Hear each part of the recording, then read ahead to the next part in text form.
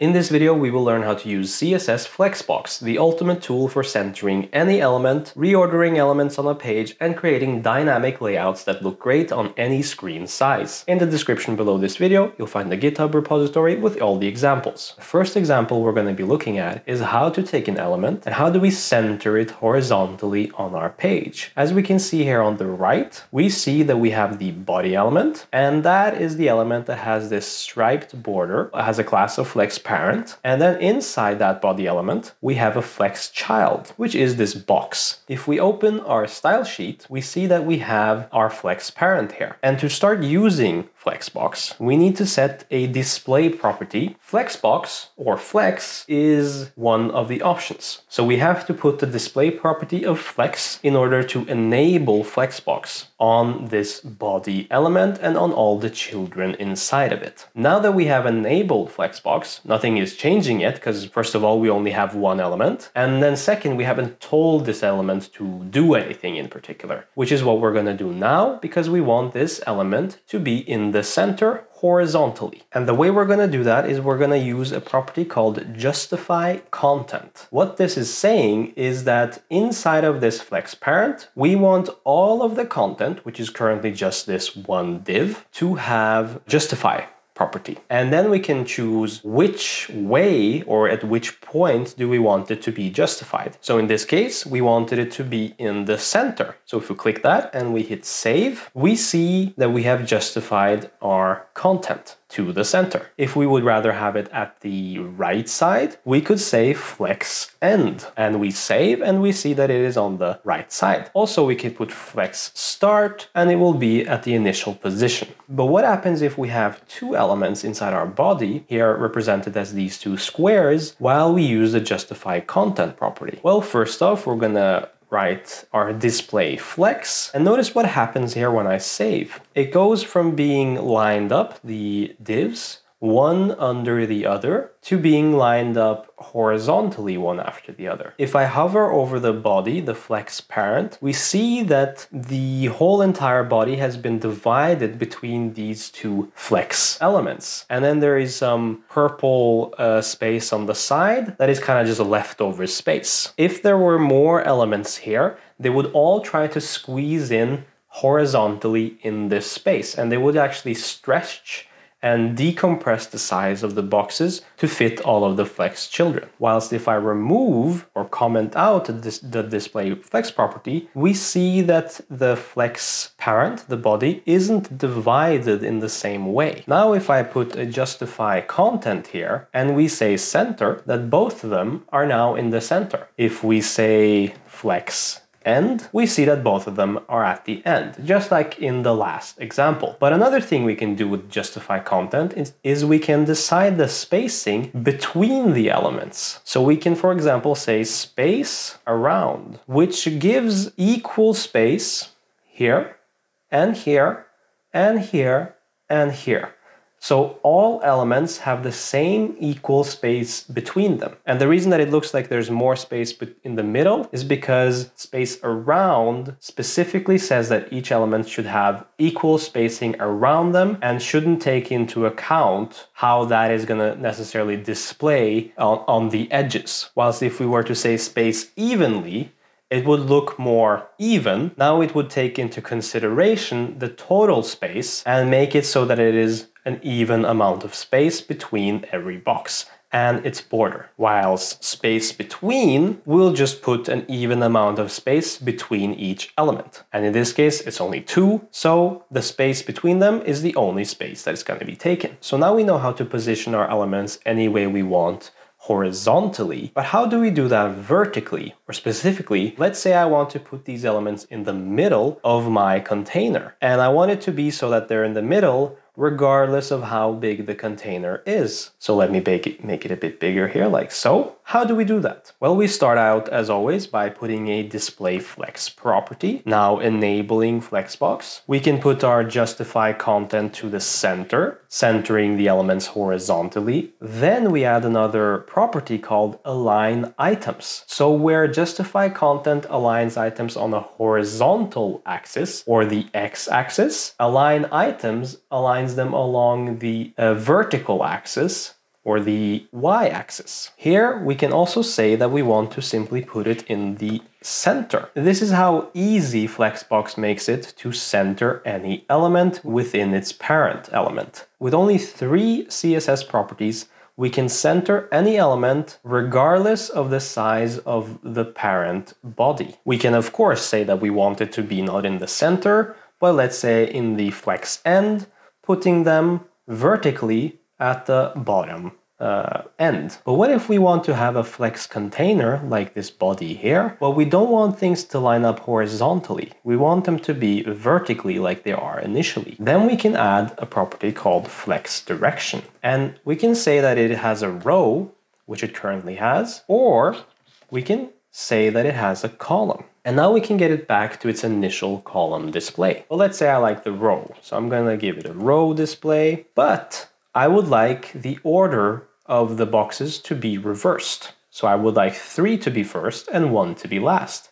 Then I can give it a flex direction of row reverse. And now we see that 3 is first, followed by 2, followed by 1. But something else happened as well. All the elements are instead of on the left side, they moved to the right side. This is because of the way row reverse works, and in order to get it to its initial position, if that's what we want, because in this example we only want to reverse the boxes, we don't want to change its position, we give it an additional justify content that we've already learned of flex end.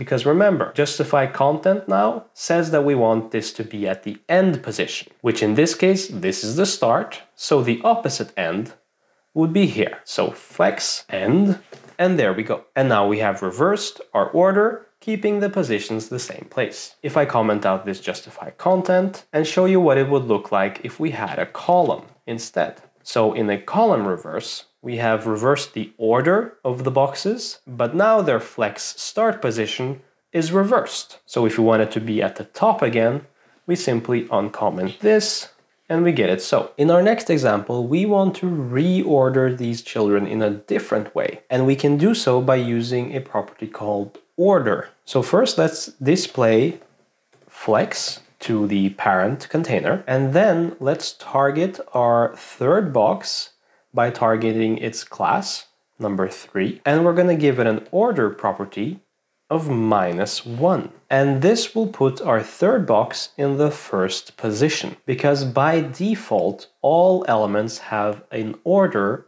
value of 0. So if we want it to be before 1, which would have an order of 0, we need it to be less. So if we copy this one and we target 1 instead, we see that if we give it an order of minus 2, it's going to be in the first position. If we give it an order of 0, it's going to go back to its initial position. If we give it an order of 1, 2 is going to be ahead of 1 because it has an order of 0. So in this way we can decide specifically which exact element has which position. But let's say we don't want to reorder each specific element, but we want to actually place them individually. Then we can use a property called align self. So giving the flex parent a display flex, and again targeting the third box using the class 3, we are gonna align self. Previously we used align items inside of the flex parent, but now we're using align self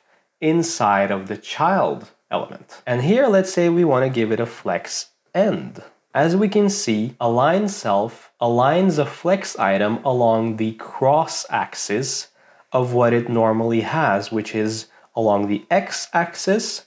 So align self will align it on the y axis. If we say flex direction here column, we see that it is reversed. So align self will always go on the cross section of the normal flex direction. In our next example, we see what happens with a flex container when we just add enough elements in it that it's gonna smush all the boxes. They still have the same height and width property, but because by default Flexbox tries to put every single element on the same line. The If these were images, they would kind of be skewed and stretched. If we comment out our display flex, we see that they have, they're just lining up one after the other. So it is the Flexbox property that is smooshing them together. And if I were to make the screen even smaller, they would become even smaller boxes. So obviously this is probably not what we want on our page. And a very easy way to get around that is to give it a property of flex wrap and then no wrap is the default setting. And if we give it a wrap, it is going to basically take all the space it can for the boxes without changing their size. And then any other boxes will have to come on the next line.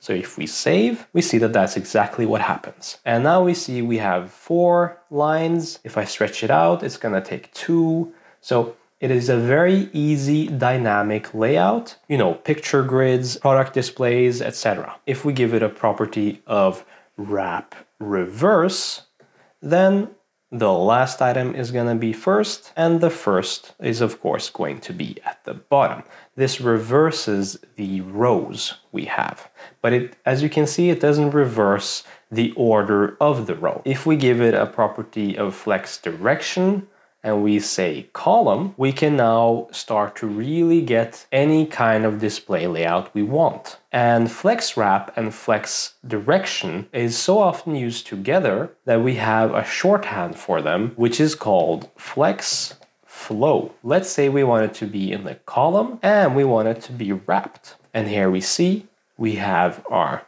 flex container displaying all its children in a column layout and they are wrapped. They're not on one single line. But as we can see the standard kind of layout of when our lines are wrapped here we see that we have it wrapped in a column and then whatever doesn't fit number seven doesn't fit on this line so it's starting a new column. Kind of the display if this was our end result doesn't really look all that good Maybe we want all of them to be tight next to each other to just fill in one after the other. Or maybe we want them to be spaced out in an equal way so it creates more of a dynamic and uh, prettier website. And then we can use, in addition, a property called align content here. So previously we used align items and this is a different property. Whereas align items aligns how items are aligned within the container. Align content determines how rows or columns are aligned amongst each other. So if we put it at a flex start, we see that all our columns are now in the flex start position, tight next to each other. Flex end puts it at the other location,